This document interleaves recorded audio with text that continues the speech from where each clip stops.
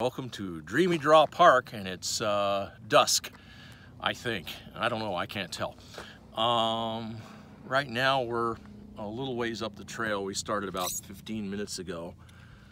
Um, and from here, what I'm being told uh, by Dominic, say hi Dominic. Hi Dominic. Uh, is that uh, from here we can see part of Paradise Valley and uh, I think part of Central Phoenix. Let's. We're at a spot where we can see both sides of the hill.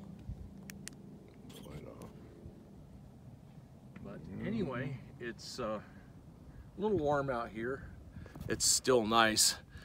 I don't want to even imagine what it's going to be like out here next week when it's when the temperature's closing in on 120. Yikes. Uh, we're going to have at least three days next week of 117 or higher. Um, but anyway, I'm out here enjoying a hike, much as I can, which is uh, a lot more than sitting at home doing nothing. Yes, sir. Anyway, enjoy the view. Uh, Did you get the Clif Bar? oh, hmm, oh wait, I forgot it again. Damn it! Damn it. I gotta call up the company and actually order in a box so that I have a box in my hip sack ready to go. We need to just get a backpack full of Clif Bars. yeah, I've got the backpack at home. I just need to get the box of Clif Bars to put in there. there you go.